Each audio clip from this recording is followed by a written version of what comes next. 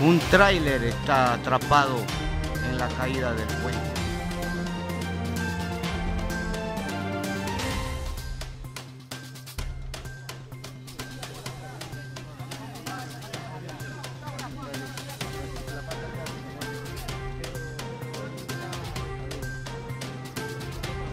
Están tratando de rescatar al, al chofer del tráiler que aún está metido allí en el carro.